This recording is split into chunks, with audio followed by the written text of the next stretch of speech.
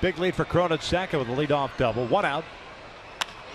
Luego de 10 temporadas en las ligas menores, el jardinero César Puello recibió el llamado al equipo grande por los angelinos y no esperó mucho para dejarse sentir. Puello pegó sencillo productor en su segundo turno ante el abridor de los Orioles Kevin Guzman para su primer hit y remolcada en las mayores, que terminó siendo el batazo decisivo en la victoria 5 a 1 de los angelinos sobre Baltimore.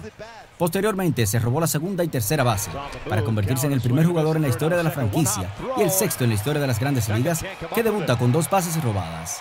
Cuello nativo de las Romanas se convirtió en el dominicano 711 en debutar en el Big Show y el quinto de los Toros del Este que lo hace esta temporada. Terminó el partido de 4-1 con una remolcada y dos bases robadas. El dueño de los Marlins de Miami, Jeffrey Loria, acordó vender la franquicia por 1.200 millones de dólares al grupo encabezado por el empresario neoyorquino Bruce Sherman y a la estrella de los Yankees Derek Jeter, según informó una fuente citada por el diario The Miami Herald. Sherman ya está construyendo una casa en el sur de la Florida y será la persona en control de la parte administrativa, mientras que Jeter se encargará de las operaciones del béisbol. El grupo Sherman Jeter tiene otros 16 inversionistas, entre los que han recaudado el dinero para satisfacer el pedido de Loria. El empresario cubanoamericano Jorge Más Santos también se reunió esta semana con Loria, pero no llegó a la cifra de los 1.200 millones.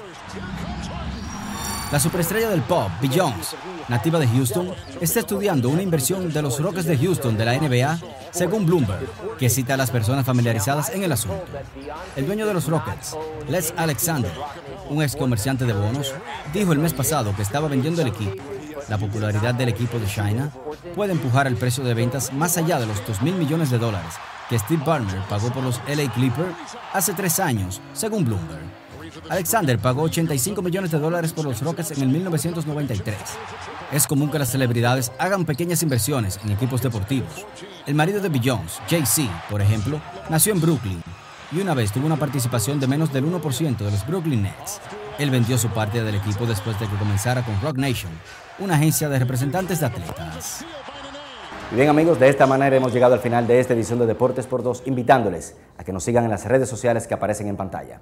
Ya regresamos.